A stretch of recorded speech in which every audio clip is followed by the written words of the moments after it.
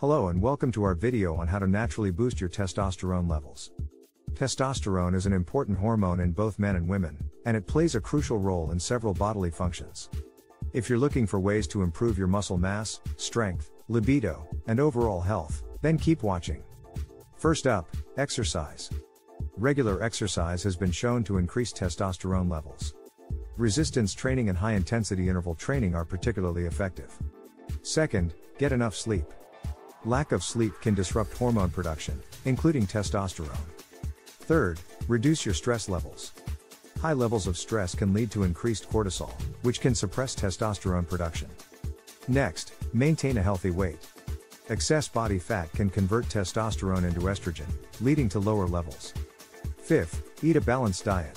Diets high in protein, healthy fats, and zinc can boost testosterone levels. Sixth, get enough vitamin D. Vitamin D deficiency has been linked to low testosterone levels, so getting enough sunlight or taking supplements can help. Seventh, eat oysters. Oysters are a great source of zinc, which is essential for testosterone production. Eighth, drink pomegranate juice.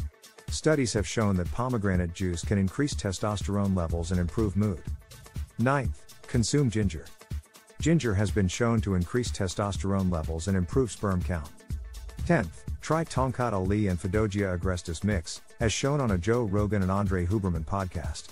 These are completely natural products that will increase testosterone levels by 300 to 400 points in a month and at the same time it increases your libido too. We put a link in the description below. And there you have it, 10 natural ways to boost your testosterone levels. Thanks for watching this video, and don't forget to subscribe to our channel for more health and wellness tips.